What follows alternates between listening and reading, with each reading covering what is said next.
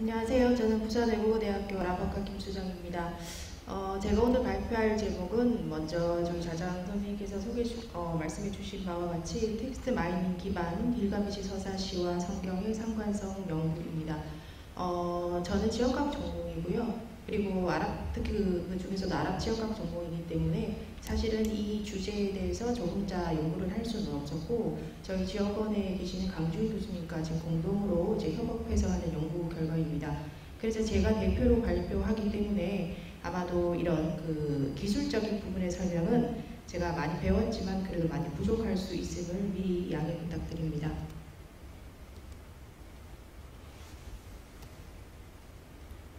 네, 발표 순서는 보시는 바와 같습니다. 뭐 갈, 어, 간단한 서론과 그리고 저희가 이 분석 방법을 어떤 분석 방법을 선택해서 이제 연구를 할지 그 소개를 드릴 거고요. 그리고 기가메시 서사시와 성경의 이제 상관적 분석 어, 된 결과들을 보실 거고 그리고 바로 그 둘의 결론과 그리고 비교 비교된 내용과 그다음에 결론을 보도록 하겠습니다. 어, 제가 지금 음, 말씀드리려고 하는 이 길가메시 서사시 같은 경우는 바로 지중해 지역이라는 그 지중해 공간에서 벌어진 그런 신화의 한 종류입니다. 어, 인류의 문명 발전은 어, 지중해 뭐 지중해를 따라서 교류를 통해서 어, 많은 모방과 그리고 이제 창조를 계속 어, 이어나가는 연속의 과정이라고 볼 수 있습니다. 그중 그 지중해 지역은 지중해라는 바다를 중심으로 어, 상호 상호 교류를 통해서 인류 문명을 계속 어, 발전돼 왔던 그런 공간으로 어, 우리 모두가 알고 있습니다. 어, 그런 역사 속에서 이러한 그 일련의 과정 속에서 어, 여러 문명적으로 발전했던 역사들이 뭐 분절되거나 단선적으로 끊겼던 것이 아니라 어, 계속 계속 연속해서 발전하고 바로 후대 문명은 그 다음 어, 어, 저 먼저 앞서 나왔던 그 선대 문명을 이어서 더욱더 발전하는 그런 연속성의 형태를 가지고 있습니다.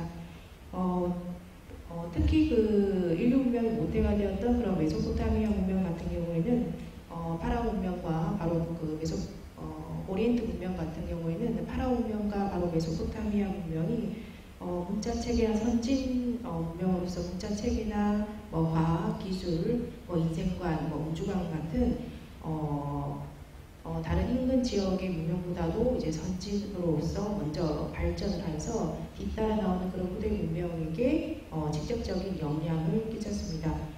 어, 특히 그 메소포타미아 문명은 티그라피스와 유프라테스강 무역에서 발전한 즉 인류 최고의 문명이라고 할 수 있습니다. 그래서 메소포타미아 문명에서 발전된 그런 학문들은 인접 지역으로 확산되었고 그리고 인접국 즉 주변국은 그 발전된 문화를 수용해서 모방하고 더욱더 독창된 문화를 발전한 것으로 봐집니다. 어, 제가 오늘 발표를 하려고 하는 그 길가메시 서사시는 메소포타미아 문명에 있었던 어, 하나의 신화입니다. 어, 제가 오늘은 그 길가메시 서사시와 그 이후에 등장하는 그 유대교의 경전인 바로 성경에 그 나타났던 그런 텍스트를 상호, 텍스트의 상호 연관성을 연구하고자 합니다. 그 중에서 가장 대표적으로 유사성이 있다고 밝혀진 바로 대홍수 이야기를 중심으로 살펴볼 예정입니다. 어, 대홍수 에피소드 같은 경우는 그 구약 성경 중에서도 바로 창세기에 등장을 하고 있고요. 그리고 길가미스 서사시는 그 총 12개의 점토판 중에서 11번째 점토판에 등장합니다.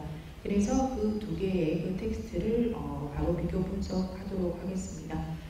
음, 길가메시 같은 경우에는 기원전 2006년, 2600년경에 바로 우르크라는 곳에 바로 통치자였고요. 바로 인근 지역으로 메소포타미아의 가장 어, 번성 도시였던 바로 우르 같은 경우에는 구약에 등장하는 바로 아버지인 아브라함이 살고 있었던 지역입니다.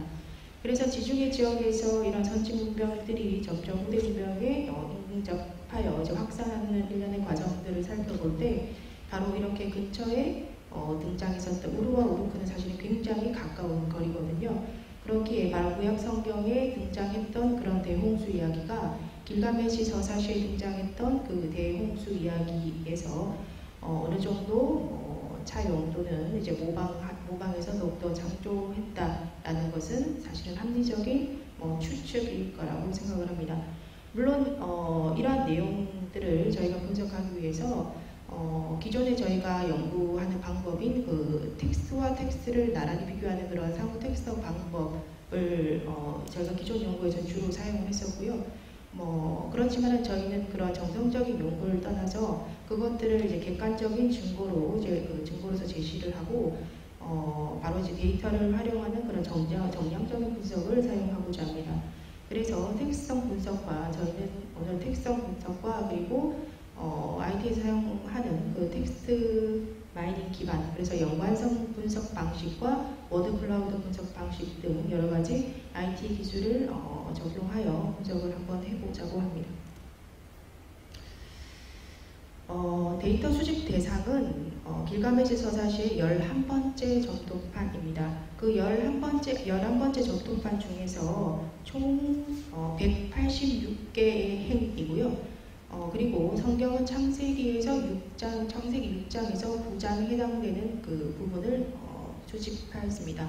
저희가 처음에는 사실은 어, 창세기뿐만이 아니라 구약 성경 전체와 그리고 길가메시 서사시의 전체를 어, 사실은 먼저 연구를 했습니다만 어, 신화 같은 경우에는 어, 뭐 메소포타미아 신화뿐만이 아니라 모든 신화에서는 이런 유사성이 나타난 부분이 전체적이 아니라 중, 어, 각각의 뭐 장들이라든지 부분적으로 에피소드가 등장, 어, 유사성 등장하는 경우가 많았습니다. 그렇기 때문에 저희가 조금 더 정확한 결론을 도출하기 위해서 그래서 어, 저희가 훈수 부분의 어, 내용만 추출해서 수집을 했고요. 어, 그래서 이런 그 IT 방법을 분석하기 위해서 어, 불용어라든지 어, 불용어를 제거하고요. 여기서 말하는 불용어는 뭐 이를테면 뭐 뭐뭐 은는 이가 뭐 이런 조사 같은 그런 것들이 해당됩니다. 그리고 이제 말뭉치를 중심으로 비교할 수 있게끔 어, 바로 IT적 기술로서 미리 이제 정리하는 작업을 거쳐서 두 개를 이제 분석을 하게, 되, 하게 되었습니다. 먼저 이 세 가지 분석 방법을 어, 먼저 설명하기 이전에 먼저 그럼 기존 연구에서 저희가 말, 어, 분석을 하는 그 상호 텍스트, 상호 텍스트성 분석에는 어떠한 결과를 먼저 도출할지 살펴보도록 하겠습니다. 어, 지금 보시는 내용이 기가미시 서사실의 내용입니다. 어, 이것은 서사시의 그 태블릿에 나오는 그 점토판에 뭐 모든 것을 제가 가지, 가지고 올 수는 없었고요. 대표적으로 그 홍수 이야기가 잘 드러나는 부분만 제가 일부 발췌해 왔습니다. 제가 그 지난 책만 되어 있는 것을 한번 읽어보겠습니다. 대홍수를 내려보내기로 결정했다. 그리고 부자는 역청을 가져오고 그리고 배를 지어라. 뭐 살아남아라. 그리고 모든 살아있는 것을 배에 실어라. 그리고 방주처럼 지붕을 씌워라. 그다음 마지막에는요, 뭐 일간 친척들을 태우고 불령의 야수들, 야생동물들, 온갖 뭐 장인들을 어, 같이 태워라라는 문구가 길가메시 서사시에 등장을 하고요. 그리고 또 네 사람들을 파멸시킨다. 어, 그리고 뭐 일곱 세, 어, 일곱, 칠일 동안 바로 홍수가 그리고 대강풍이 일어났었다라는 내용이 등장을 합니다. 그리고 홍수가 끝난 후에는 바로 이 주인공이 비둘기라는 그 새를 날려보냄으로써 어, 이 그 홍수가 끝나고 육지가 드러나는 그런 내용들을 어, 내용들이 등장하는데요. 여기서 기가메시 서 사시에는 비둘기 그리고 제비, 까마귀가 등장을 합니다. 그리고 홍수가 끝난 후에 바로 희생제를 지내고 어, 신은 바로 이 주인공을 축복하는 그런 내용들로 전개가 됩니다. 어, 이 서사 길가메시 서사실이 지금 조금 전에 적도판에 쓰여졌던 것을 보시는 바와 같이 어, 바로 그 홍수 이야기가 주 주인 바로 주제로서 나오는 이야기이고요. 여기 등장하는 그런 신들은 아누라는 신 그리고 엔닌, 에아 등등 여러 가지 여러 여러 명의 신이 등장을 합니다. 그래서 저희가 꼭 비교하게 될 성경이랑 다른 점은 어, 이곳에서는 바로 유일신이 아닌 여러 명의 신이 등장을 하지만 어, 정확한 것은 바로 신의 명령에 의해서 이 주인공인 무타나피시라는 사람이 바로 어, 절대 복종을 함으로써 어, 바로 이행을 하였고 그리고 이제 그 파멸을 하기 위한 방법으로 바로 홍수를 택했다는 점 그리고 그 홍수에서 살아남기 위해서 이 에아라는 신이 지혜의 신이거든요. 그 에아라는 신이 그 인간을 구원하기 위해서 이런 방주를 만들었고 거기에 탄 사람들 바로 가족과 장인 그리고 여러 동물들이 다 승선했다는 내용이 바로 어, 점도판에 드러나 있습니다. 그리고 7일간 홍수가 진행되었고 나중에 새를 통해서 육지를 찾고 마지막에는 어, 축복을 받는 그런 내용으로 전개가 됩니다. 그렇다면 구약 성경의 창세기 6장에서 9장은 어떤 내용이 있는지 먼저 성경의 내용부터 살펴보도록 하겠습니다. 어, 40주야, 즉 40일 동안에 이제 비가 내렸을 때 비가 내린다라고 되어 있고요. 그리고 7일 후에 홍수가 땅에 덮이니 다 40주야를 비가 땅에 쏟아졌더라. 그래서 여호와께서 여기에서는 성경에서는 여호와 즉 하나님을 나타내는 뭐 단어가 굉장히 많습니다. 여호와, 뭐 야훼, 뭐 등등 많은 단어로 등장을 하는데 뭐 정확한 어, 많은 여러 가지 단어로서 등장을 하더라도 바로 유일신 하나님을 뜻하는 것입니다. 그래서 여호와께서 사람이 죄악의 세상에 가득한가 인간의 죄악으로 인하여 바로 이 홍수로 이제 인간을 벌, 벌하고자 하는 그런 내용이 창세기에 등장을 하게 되고요. 그리고 그런 것 때문에 한탄하고 근심했고 지면에서 쓸어버리겠다. 그래서 그 내용을 쓸어버리는 방법을 홍수로 택했다는 것이 등장하게 됩니다. 그래서 하나님이 바로 그 중에서 믿음의 자식이었던 노아에게 바로 이제 방주를 만들라고 지시를 하게 되고요. 역청을 통해서 만들고 그리고 그 방주에 어, 사람들을 태우라고 하는데요. 바로 며느리들과 그 다음에 그 아들들 그리고 모든 생물들을 한 쌍, 암수, 암수 한 쌍씩 바로 방주에 태우라는 지시가 나와 있습니다. 그리고 까마귀와 그리고 비둘기를 바로 배에서 나중 날려보냄으로써 육지가 말랐는지 또 하선할 수 있는지 방법을 찾게 되고요. 그리고 나중에 홍수가 끝난 이후 노아가 나중에 번제 하나님께 번제를 드리고 어, 하나님은 노아와 그 아들들에게 축복을 드리는 내용으로 전개가 됩니다. 그래서 조금 전에 보셨던 그 창세기 9절을 이제 간단히 요약해 드리면요. 바로 구약 성경에서 창세기 6장에서 9절은 바로 노아의 홍수 이야기로 등장을 하게 되고 바로 유일신 하나님에 대한 계획 그리고 그 어, 하나님의 오직 하나님의 의지에 대한 그 절대 명령에 복종하는 주인공인 노아가 등장을 하게 되고요. 바로 생선하는 것은 가족과 그들 그의 가족과 모든 생명체 한 쌍입니다. 40일간 홍수가 진행되고 비둘기와 까마귀를 통해서 육지를 찾고 나중에 축복을 받는 이야기로 전개가 됩니다. 어, 지금 보신 것은 바로 제가 기존의 보통 지역학이나 역사학자들이 그 시행 비교 분석이 시행하는 상호 텍스트 방법의 그런 내용이었고요. 뭐 제가 곧 어, 조금 이따가 다시 뭐 연관 표를 보여드리겠지만은 어, 지금 이렇게 텍스트만 보셨다시피 보셔도 아시다시피 굉장히 유사한 그런 내용들이 어, 등장한다는 것을 아실 수가 있습니다. 그렇다면 text mining 기반의 분석 방법 중 바로 연관성 분석인데요. 이 연관성 분석이라는 것은 어, 한 문장 안에서 굉장히 같은 단어들이 어, 자주 출현을 어느 정도 하느냐 하는 겁니다. 그래서 같은 어, 연관된 그런 단어의 출현 빈도가 높을수록 바로 그 문장이 바로 텍스트에 등장한다는 것의 증거가 되고요. 그리고 그 전체 문장의 흐름을 알 수가 있고 또는 그 글의 주제를 파악할 수 있습니다. 그래서 먼저 그 기가메지 서 사시의 연관성 분석 결과를 보시면 지금 왼쪽을 보시면 됩니다. 지금 왼쪽에 보시는 게 자주 등장하는 그런 키워드들이고요. 그 다음에 오른쪽에 나와 있는 것은 지지도, 신뢰도, 향상도 있는데요. 여기 보이시는 이 숫자들이 높을수록 굉장히 연관성이 높고 그 글의 주제 또는 글의 흐름의 핵심이다라고 이해하시면 될 것 같습니다.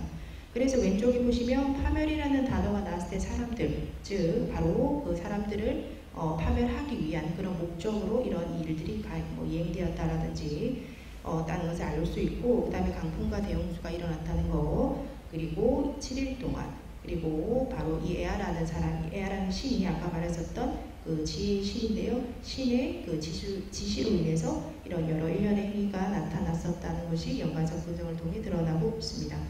그 다음 보실 표는 창세기에 나와 있는 분석표입니다. 마찬가지로 아까 조금 전에 말씀드렸던 바와 같이 보시면 되는데요.